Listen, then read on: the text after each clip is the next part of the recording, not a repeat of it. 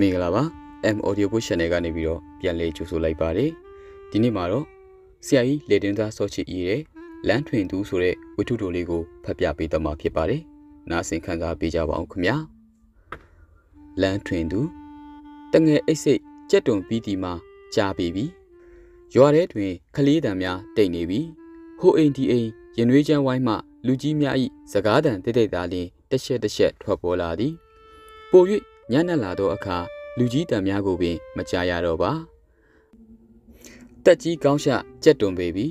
အမေနှင့်အမများအိတ်နေကြပြီတင်ဝင်းတယောက်အိတ်၍မပြောသည်ရွာတောင်ပတ်ရှိနွားရှံမကိုပိုင်ဤပလွေတံတာယာသည်လေအသင့်တွင်လွင့်ပါလာ၏ယနေ့ညတင်ဝင်းအိတ်၍မပြောသည်မှာဝမ်းတာ၍ဂုံယူကြည်နူး၍ဖြစ်သည်ထိုညသည်တင်ဝင်းဤဘဝအတွက်အဆုံးအဖြတ်ညပင်ဖြစ်သည် စတုဒ္ဒတန်အတန်းတင်စာမေးပွဲကိုတင်ဝင်းအောင်မြင်ကြောင်းတမျိုးနယ်လုံးမှာပထမရကြောင်းဆီယာမကြီးကအိမ်လာပြောသည်တင်ဝင်းဝမ်းတာလွန်၍ထမင်းရှက်နေသောအမေကိုတွားပြောသည် အမေကစိတ်ဝင်စားခြင်းမရှိအောင်ရင်ပြီးတာပဲဟုလွယ်လွယ်ပြောလိုက်သည်တမျိုးနယ်လုံးမှာပထမရကြောင်းကိုမပြောမိတော့ပါ ပြောလင်လေအမေစိတ်ဝင်စားမိမထင်ပါတဲတဲတွင် ရက်ကန်းခတ်နေသော အမနှစ်ယောက်ထံပြေး၍ပြောပြန်သည် အမများကလည်းစိတ်ဝင်စားခြင်းမရှိ အကိုကြီးကိုပြောပြန်သည်မြို့နယ်ပထမရပေမဲ့ကြောင်ဆက်မတက်နိုင်တော့အလကားပါပဲကွာအကိုကြီးကညီညီညူညူပြောလိုက်သည်ကျွန်တော်ကြောင်ဆက်မတက်ရတော့ဘူးလားအကိုကြီးတက်ရှင်လွန်းသောစန္ဒကြောင့်သာအမှတ်တမဲ့မေးလိုက်မိခြင်းဖြစ်သည်အမှန်စင်စစ်ကြောင်တက်နိုင်သောအခြေအနေမရှိသည်ကိုတင်ဝင်းတည်ပြီးသားဖြစ်သည်ဘယ်လိုဆက်တက်မလဲကွာငါတို့မှာစပိန်တစည်းဝဲဖို့မပြောနဲ့ ထမင်းတောင်မနှဲစားနေရတာပဲအကူကြီးဖြစ်သူကိုတက်ထွန်းကညီငယ်ကိုကြည့်၍စိတ်မကောင်းစွာပြောလိုက်သည်တင်ဝင်းကျောင်းဆက်တက်ရှင်သည်ပညာဆက်တင်ခြင်းသည်တို့ရာတွင်တင်ဝင်းကျောင်းနေရန်မလွယ်ညတွင်တင်ဝင်းအိပ်၍မပြောတက်ကြီးကောင်းရှကြက်တွန်ပြီးတအိမ်လုံးအိမ်မောကြကုန်ပြီတင်ဝင်းမအိမ်နိုင်ဘယ်ပြောင်းညာလိမ့်ဖြင့်ကျောင်းနေခွင့်ရအောင်အမျိုးမျိုးအကြံဉာဏ်ထုတ်နေမိသည် လေးရအောင်ပြီးလင်စင့်ကင်မျိုးအစိုးရအထက်တန်းကျောင်းကိုတွားတက်ရမည်စင့်ကင်မျိုးနှင့်ဝန်းတူရွာရှောက်မိုင်ခန့်ဝေးသည်ဤခရီးကိုနေ့စဉ်တွားရန်ဆိုလေစက်ပိန်းရှိမှဖြစ်လိမ့်မည်ရွာမှလက်ရှိကျောင်းတက်နေကြသောကျောင်းသား12ယောက်ရှိသည်အားလုံးစက်ပိန်းကိုစီရှိကြသည်ထို့ကြောင့်စင့်ကင်ကျောင်းသို့ဆက်တက်ရန်အတွက်စက်ပိန်းတစ်စီးလိုသည်တင်ဝင်းအရင်လေးတန်းအောင်ခဲ့သူတွေရှိသည်အတင်းထဲတွင်စာတော်ခဲ့ကြသည် ထူးချွန်စွာအောင်ခဲ့ကြသည်သို့တော်စပိန်မဝင်နိုင်၍ကြောင်းဆက်မတက်နိုင်ခဲ့ကြယခုလေကူလီနေစားအလုတ်သမားများဖြစ်နေကြပြီ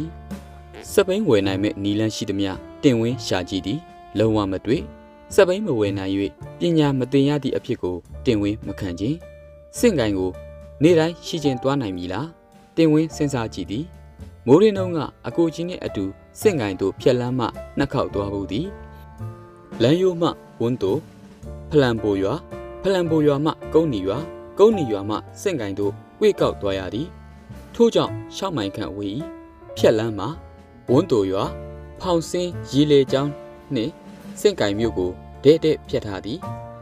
တို့ရာတွင် ရှေ့ချင်းသာတွား၍ရသောလမ်းဖြစ်၏လူသွားလူလာတိမ်မရှိ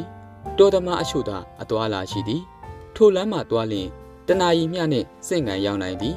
ကျောင်းကမနက်၈နာရီတက်သည် တင်ဝင်းရွာမှ6နာရီခွဲထွက်ရမည်ဒါဟာတနစ်ထဲအလုံးမဟုတ်ငါဇွဲကောင်းကောင်းနဲ့တက်နိုင်ပါမလားတင်ဝင်းထက်၍စဉ်းစားသည်ငါကြောင်းတိတ်နေခြင်းနဲ့ဆိုရင်တော့ဒီခရီးကိုရှေ့ကျင်သွားဖို့နီးပဲရှိတယ်ဟုတ်ပြီဘာလို့မသွားနိုင်ရမှာလဲငါကြောင်းသွားတက်မယ်တင်ဝင်းအခိုင်အမာဆုံးဖြတ်ချက်ရှာလိုက်သည်လင်းချက်တွန်တန်များကြားရပြီမကြမီအာယုံဥဤရောင်ကြီးများထွက်လာတော့မည်နောက်တစ်နေ့တွင် တင်ဝင်းကသူ၏ဆုံးဖြတ်ချက်ကိုအမေနှင့်အမများအားပြောပြသည်အမေနှင့်အမများကကန့်ကွက်ခြင်းလည်းမရှိထောက်ခွန်ခြင်းလည်းမပြုဘာဖြစ်လို့များဒီလောက်ကြောင်းနေခြင်းရတာပါလိဟု၍အံ့ဩသောမျက်လုံးများနှင့်သာတင်ဝင်းကိုကြည့်နေကြသည်ညနေတွင်တင်ဝင်းကအကူကြီးကိုပြောပြပြန်သည်အကူကြီးကစိတ်မကောင်းဖြစ်သည်ငါညီဒီလောက်တောင်စန္ဒပြင်းပြရင်တော့တက်ပါစာအုပ်ဖိုးလိုတာကိုတော့အကူကြီးပြည့်စုံအောင်ရှာပေးပါမယ် စက်ဘင်းကိုလည်းဒီနှစ်မဟုတ်ရင်တော့ရှစ်နှစ်လောက်မှဝယ်ပေးနိုင်အောင်ကြိုးစားပါမယ်ဟုဆို၏တင်ဝင်းကတော့ကြောင်းနေခွင့်ပြုသည်ကိုပင်ဝမ်းသာလာပြီးတင်ဝင်းဤဆုံးဖြတ်ချက်ကိုရှီကျူးဂုံပြူ၍ဆီယာမကြီးမှဗလာစာအုပ်ရှောက်အုပ်နှင့်ဘောပင်လေးချောင်းပေးသည်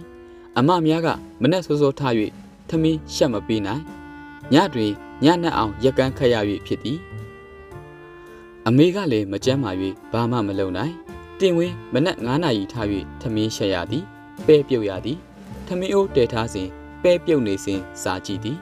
ထမင်းကြက်တော်အခါပဲပြုတ်နှင့်စီစန်းကိုကြိုင်နေထဲသည်6နာရီခွဲသည်နှင့်အိမ်မှထွက်သည်ကြာသောအခါတင်ဝင်းဤဖြက်လန်းကလေးမှာတင်ဝင်းဤရှီယာတို့ကြောင့်ထင်ရှားသောလမ်းကလေးဖြစ်လာသည်တွားနေကြလမ်းနားနေကြစခန်းလေးများနှင့်မြင်နေကြရှုခင်းလေးများမှာရှစ်စရာဖြစ်လာသည်တင်ဝင်းသည် သူ့လမ်းကလေးကိုသူ့သဘောကျနေသည်တွားရသည်ကိုလည်းညောင်းသည်ဟုမထင်တနာရီနှင့်စင့်ကင်သို့ရောက်သည်ညနေ3နာရီကြောင်းစင်သည်၄နာရီခန့်တွင်တင်ဝင်းရွာသို့ပြန်ရောက်သည်စပိန်သမားများနှင့်ခြေစင်နောက်စင်းများသာကွာသည်မိုးတွင်အခါတွင်ဓာတ်မြေဩဇာထည့်သောပလတ်စတစ်အိတ်ခွန်ကို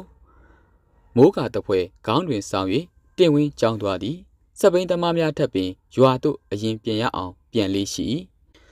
တိတ်ဇွဲရှိတဲ့ကောင်တိတ်ကြိုးစားတဲ့ကောင်အတုယူထိုက်တယ်ဟေအရှို့ကရှိကြကြသည်ခဏပါကွာ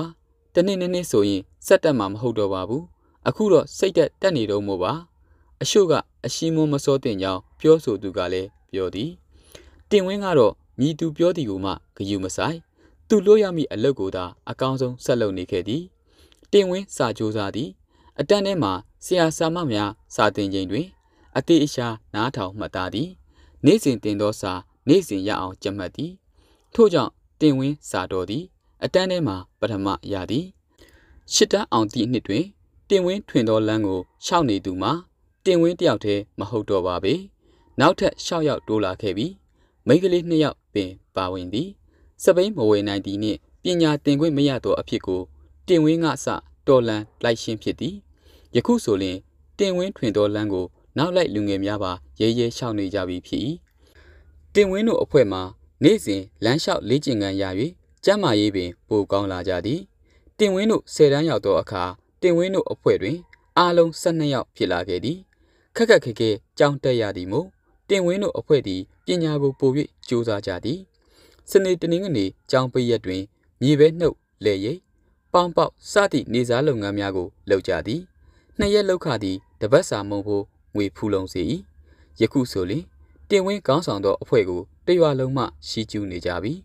တင်ဝင်းတို့ကလည်းသူတို့၏ဘဝကိုဂုဏ်ယူသည်သဘောကျသည်ပညာကိုအစွမ်းကုန်စူးစမ်းကြရန်တယောက်နှင့်တယောက်တိုက်တွန်းကြသည်အကြံပေးကြသည်တွားရင်နားရင်မရှင်းသောစာများကိုမေးကြဖြေကြဆွေးနွေးကြသည်ဆယ်တန်းစာမေးပွဲအောင်စင်းထွက်သောအခါတင်ဝင်းနှစ်ရှင်းပေါအောင်ခဲ့သည်ဂုံတူးသုံးခုပါသေးသည် တင်ဝင်းကိုတရွာလုံးကရှီကျူးကြဂုံပြူကြသည်တင်ဝင်း၏အကိုကြီးကိုတက်ထွန်ကလည်းဝမ်းတာဂုံယူ၍မဆုံးအောင်ဖြစ်နေသည်တင်ဝင်းပညာသင်လိုသည်ကိုစိတ်ပြည့်စရာအောက်မေ့ခဲ့သောအမေနှင့်အမများပင်ရောရောင်၍ဝမ်းတာနေကြသည်ကျေးရွာလူကြီးများကတင်ဝင်းကိုရှီကျူးဂုံပြူကြသည်လစ်လက်နေသော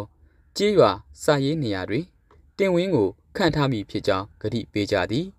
တင်ဝင်းဝမ်းသာအားရဖြစ်မိသည်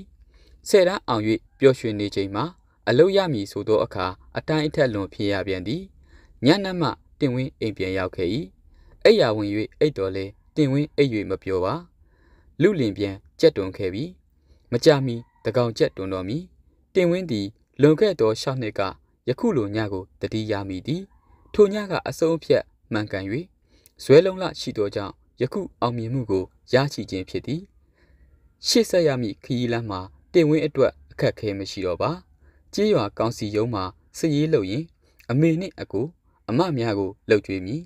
တက်ကတူစာပေးစာယူတင်တန်းကိုဆက်တက်၍ဘွဲတစ်ခုခုရအောင်ယူမည်ပညာကိုစုံကန်းတိုင်အောင်သင်ကြားမည်ကိုထွင်သောလမ်းကြောင်းသည်နောက်လူတို့အတွက်ပါလမ်းကောင်းဖြစ်နေသည်ကိုလည်းတင်ဝင်းဝမ်းသာဂုဏ်ယူရပါ၏ဟုတ်ကဲ့ပြီးပါပြီနားထောင်အားပေးကြတဲ့တယောက်တယောက်ရှိနေတိုင်းကိုကျေးဇူးအထူးပဲတင်ပါတယ်ခင်ဗျာ